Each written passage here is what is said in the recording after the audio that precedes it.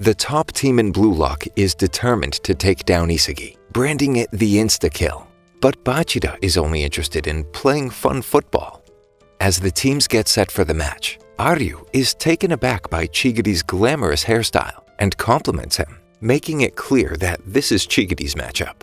But when Chigiri calls him by his name, Aryu is thrown into a state of shame over how unglamorous it is. Tokimitsu fears that Aryu won't play well like this and nervously asks for a delay of game. Baro, without any authority to do so, denies the request and grows irritated with Tokimitsu's negative attitude towards everything. But when he tries to lift him, he realizes Tokimitsu possesses remarkable strength. Baro will be marking Tokimitsu. Nagi seeks an opponent who excites him and challenges Rin to become even stronger, leaving Isagi to square off against Bachira in a no-holds-barred battle. Bachira attempts to shake Isagi off with his signature ultra-fast scissors dribbling, but Isagi anticipates the move. Bachira sees that he's grown stronger since their last encounter and is more focused on the field than on one-on-one battles. Bachira is determined to get past Isagi, but Baro doubles up on him, forcing him to pass. However, Isagi intercepts the pass with ease, swiftly passing to Nagi. To Nagi's surprise, Rin is fully aware of his first touch skill and positions himself to counter. Nagi passes the ball to Chigiri, who rushes in and scores the first point for Isagi's team. Bachira is pleased to see how well Isagi's team is working together and considers them a worthy opponent. He is determined to win. 35 meters out, scoring a goal from kickoff seems impossible, even for Rin. Bachira dribbles cautiously, keeping a watchful eye on Baro. Just when Isagi thinks Bachira is off guard, he makes a no-look pass to Aryu, who's able to reach the ball almost effortlessly, then passes it to Tokimitsu, who Baro struggles to push, even slightly. With a quick one-touch pass to the middle of the field, Rin is now in shooting range. Nagi tries to stop him, but Rin easily fakes him out. Isagi and Chigiri team up to prevent the inevitable shot, but Rin deceives them as well.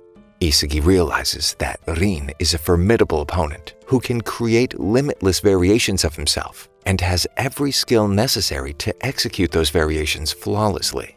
As Isagi attempts to steal the ball, Rin praises him for improving, but points out that he's still far behind. With a spectacular jumping shot, Rin equalizes the score. The team is at a loss on how to stop Rin, but Isagi has learned from their previous encounter and can now decipher Rin's moves. He knows that he must devour Rin to win the game, but he's unsure of how to do it. Isagi explains how Rin executed his last play by drawing them in during a crucial moment, which is likely his go-to strategy. Chigiri observes that Isagi is the only one who can keep up with Rin's thought process, making Isagi the key to stopping him. Although they're uncertain about their defense, their offense is working well. Chigiri has the ball, and after analyzing the field, Isagi positions himself for a pass. However, Rin anticipates Isagi's off-the-ball movement and intercepts the pass. He possesses the same level of field vision as Isagi, but always seems to be one step ahead. Rin passes the ball to Bachira, who is impressed with Isagi's improvement and decides to showcase his skills by sending the ball flying with vertical spin to Aryu. Chigiri and Nagi both attempt to catch up with the ball, but they're focused on where it will land, while Aryu leaps and heads the ball into the net well before it gets near the ground, bringing the score to 2-1. Isagi initially believed that stopping Rin was the key to winning, but he now realizes that Bachira serves as the team's core, leveraging the strengths of the top three players. Nagi also understands the role Bachira plays in elevating Rin's team, and he's determined to crush them. He's grateful to Mikage for introducing him to football, but playing with Isagi is what serves his commitment to get stronger. They kick off the next round with Chigiri on the ball. Nagi observes the field and notices Isagi's positioning strategy, which involves Baro acting as a decoy and buzzing around Chigiri to create space for Isagi. However, Rin sees through this tactic. Nagi acknowledges that the two prodigies share the same level of vision, and the reason Isagi can't beat Rin might be due to physical limitations. Nagi decides to be the final piece of the puzzle and shake up the game by going beyond expectations and making it more unpredictable. Chigiri passes the ball to Nagi, who immediately lets it go to Isagi, hoping that he'll quickly analyze the field and redraw their strategy. Rin is still able to anticipate Isagi's pass, so Nagi decides to fake a shot to throw Rin off balance and then scores the equalizing goal. Nagi is certain that with Isagi, he can continue to push his limits and become even stronger. This impressive outplay finally ignites Rin's competitive spirit. The white team erupts in cheers after Nagi's exceptional goal. Isagi is thrilled that he can finally compete head-to-head with Rin by using Nagi's skills, but he knows that this alone is not enough. If he truly wants to become the best striker in the world, he must surpass Rin on his own. With the game tied, Isagi begins to strategize on how to replicate their successful performance. He realizes that in order to gain an advantage over Rin, both he and Nagi must improve. If they can achieve a 50-50 chance against Rin, their weapons can work to their advantage. However, Isagi isn't content with just being equal. He must evolve his future vision and anticipate the play before Rin does, giving him the upper hand in the match. Isagi remains unaware that Rin has entered his serious mode, his competitive spirit fueled. Rin takes control of the ball from the kickoff and executes a backspin pass to Tokimitsu, allowing him to beat Baro to the ball. He knocks it back to Rin, who lobs it forward to Aryu, testing his limits in aerial battle. But when Chigiri blocks Aryu's path, he passes the ball back to Rin. Nagi is on him and tries to read Rin's fake, but it turns into a roulette spin around him. Isagi believes he's anticipated Rin's move, but it's the other way around. The ball heads to Bachira, who scores a goal. Rin had manipulated Isagi and everyone else on the field like puppets. In this play, his mastery is on full display, proving that he and Isagi are not on the same level. Rin's playstyle centers around controlling people by manipulating their thoughts, assessing their skills, and pushing them to their full potential to create the future he envisions. Rin is simply incredible, seemingly flawless in every way. Despite this setback, Isagi's team refuses to give up and focuses on unconventional tactics that Rin cannot predict, and something is burning within Baro. Game on.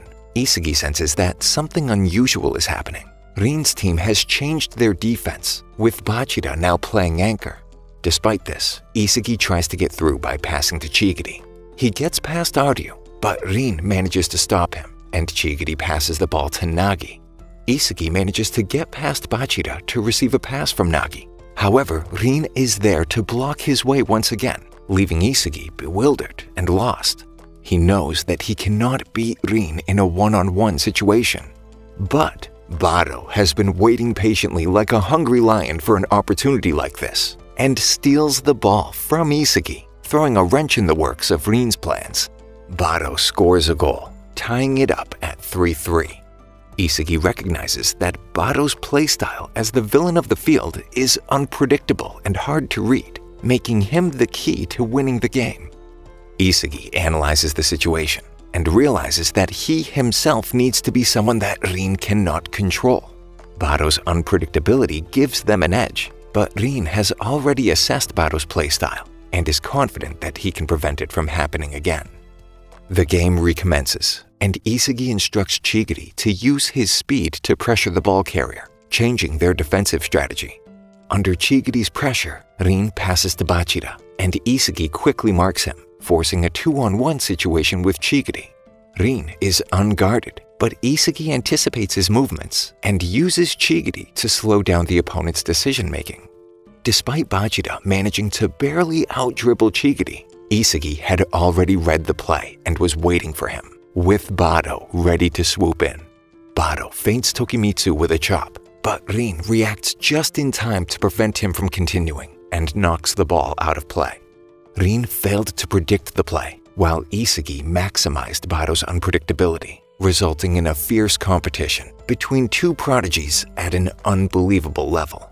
The field now has two monsters battling it out. Bachira's dream of playing football with monsters is finally coming true, but something is not right. He feels like he's being left behind, or perhaps it's a test? Chigiri hits the ball out of play, and Isagi's team faces another predicament. Everyone's stamina is rapidly draining. As the players become sloppier, the team that catches on to their opponent's mistakes first will have an advantage. From the throw-in, Rin and Tokimitsu pass the ball around and easily get past the defense. Thanks to Tokimitsu's immense strength and stamina, Baro and Chigiri both receive yellow cards for trying to stop him a little too aggressively. Rin has a free kick from his sweet spot, and Isagi has to decide whether to defend against a shot or team up against a possible pass. Rin reads Isagi perfectly and shoots the ball right above his head, not giving him enough time to react and scoring a goal, making it 4 3. Rin reveals that a shot on goal was the only option. Bachira realizes that the two monsters are playing to satisfy their egos and questions what he's playing for to find a true monster or a friend. He now knows that these reasons aren't going to be enough to keep up. Thank you for sticking until the end. Subscribe for more videos like this.